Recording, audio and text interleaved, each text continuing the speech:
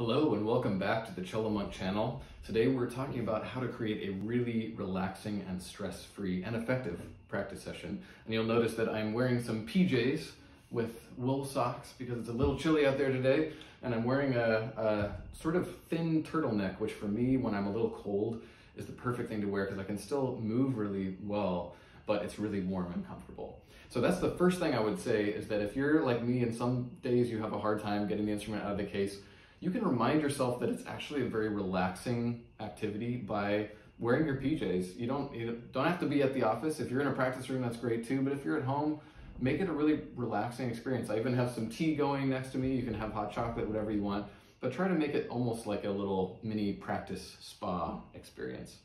The second thing I'd say that's really significant is that physical tension leads to mental anxiety. There's a really, really direct relationship. Actually, it's kind of a circular relationship because that tension can cause anxiety, but also then mental anxiety causes tension as well. So it's a fascinating uh, feedback loop. But make sure that you're physically really relaxed, and the chances of you having a stressful practice session will go down immensely. Part of that means that your music stand, if you're using a music stand, should be high enough that your spine is neutral when you look at it. Unfortunately, honestly, I'd say 99% of musicians, if you look at how they practice, their music stand is down low enough that it starts to pull their entire body downward, which is very, very stressful for the body, leads to long-term physical tension and again, mental anxiety actually. So make sure that your music stand is high and that physical relaxation is a priority for you. Even if you're practicing something that's really, really difficult for you, remember that tension is not gonna help and that's gonna just make it a more stressful experience all around. So stay physically relaxed. The third big thing I would say is that make a mental shift where instead of thinking of practice like you're testing to see what your abilities are, or you're sort of trying to impress yourself, or like you're absolutely trying to nail the shift and no matter what, you're going to be frustrated until you nail it. Those kinds of attitudes don't really lead to great playing, um, at least not very effectively. And you'll have a way better time if you think of practicing like research. And in that sense, nothing can go wrong. If you play something that's too high, you know, you miss the overshift, that's as helpful to know as if you nailed the shift perfectly because it helps you figure out exactly what it feels like to do it perfectly. Um, so there's really, if you think that like research, there's nothing that can go wrong, it's only the amount of data that you're gonna have to collect. Just think of practicing like data. Along those lines, focus and quality of presence are really important for practicing. They're gonna make your practicing more effective, way more effective per hour, but also it's very Zen-like and very calming to have a great quality of presence.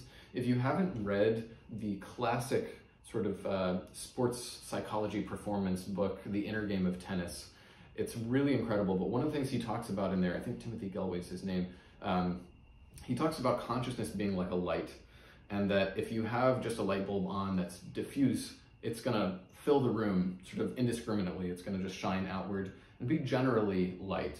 But you can also focus that light onto something very specific and it'll be much brighter on that one thing, but almost everything else is gonna fall away.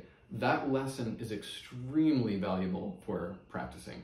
So if you're practicing your intonation, um, first of all, you'd have to know that there multiple ways you can play out of tune, but we'll get to that in a different, different video. But let's say that you figured out that the reason you're out of tune is that you can't really remember how far apart first and third finger are right here. Okay? So you narrow it down to that problem. That in itself is significant to figure that out.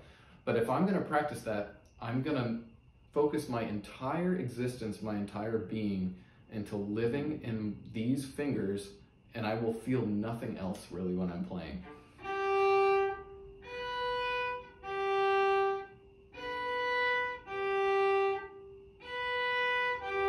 So all I'm doing is calmly living inside that body part. If I'm doing something else, um, like trying to do a certain shift, um, I'll try to live inside my elbow and, fi and, figure out what that feels like. Um,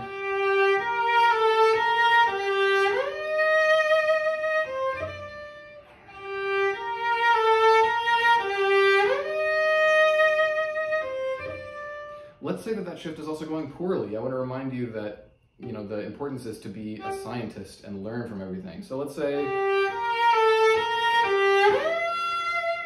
I was way too high, but I was very relaxed. That's good. You know what I don't want to see?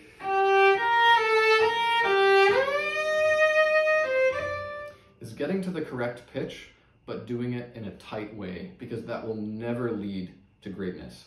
That kind of playing, you're always going to be stuck in the style of playing where you're tight, and you're never going to really feel what it's like to let go and actually let things happen. It's a totally different way of playing. So, to sum it all up, be comfortable physically, get in the right garb for whatever day it is, and make remind yourself that it's not that stressful of a job, or it doesn't have to be. So get comfy, and then make sure your music stands at a good height so that your body is neutral. Relaxation is really key. Physical relaxation all the time is very important.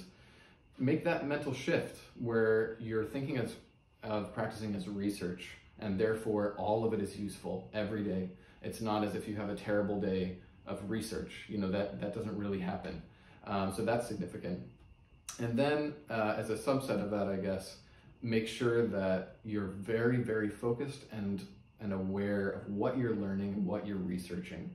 And kind of have a cool, calm, collected atmosphere about yourself so that, again, even if something goes wrong, you're learning from it in a mildly interested way, but you're not upset when it goes poorly.